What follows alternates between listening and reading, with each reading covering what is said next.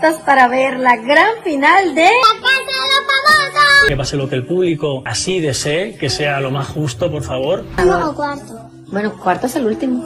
O sea, que salga de último. Tengo que asimilar todo lo que ha ocurrido todo este tiempo que he estado incomunicado. La Casa de los Famosos 2 finalmente llegó a su final y con esto también acabaron todas las polémicas que precisamente se generaron entre sus participantes quienes estuvieron allí dentro de la casa por más de 90 días.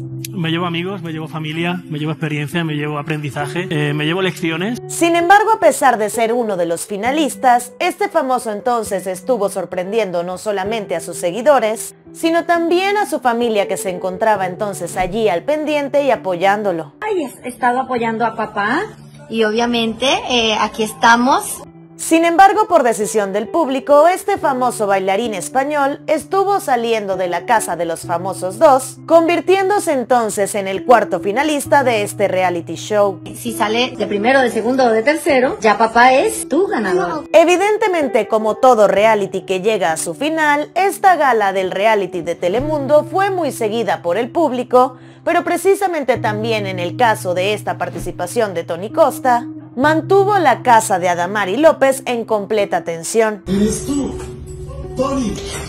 Incluso la reconocida actriz de telenovelas como Amigas y Rivales y Bajo las Riendas del Amor, decidió entonces grabar el momento exacto en el cual ella y su hija reaccionaban luego del anuncio de que Tony fue el cuarto finalista. Que valió la pena estar 91 días separado porque, bueno, el crecimiento ha sido muy grande. Fueron exactamente 91 días de encierro que culminaron el pasado lunes 8 de agosto. Y a pesar de que él se perfilaba como uno de los grandes ganadores, el público solo le dio el 14% de los votos y salió en el último lugar. Ella, por lo general, pasaba y lo veía, pero no era que estaba tan pendiente del show. Así que a pesar de que parecía que iba a seguir los pasos de Alicia Machado en la primera edición de La Casa de los Famosos, Tony Costa tuvo que conformarse con el último lugar. Obviamente pues tenía que tirar para casa, ¿no? Como dicen. Y ahora que finalmente terminaron los días de encierro, el bailarín español entonces se prepara para lo que sería el gran encuentro con su princesa Alaya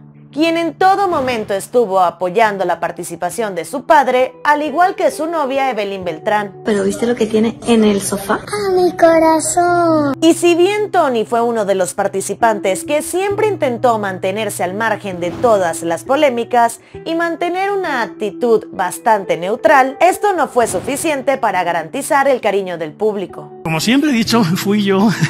Yo no estaba haciendo una estrategia ni un juego. Y tras anunciarse su cuarto lugar en el reality, Adamari López estuvo brindándole un fuerte abrazo a su hija y estuvo asegurándole que su padre siempre será su ganador. Papi fue un ganador, mi amor. No importa, no importa, mi amor. Papi fue un ganador. Recuerda que si te gustó este video, puedes seguirnos dándole clic acá arriba y así formarás parte de nuestra comunidad.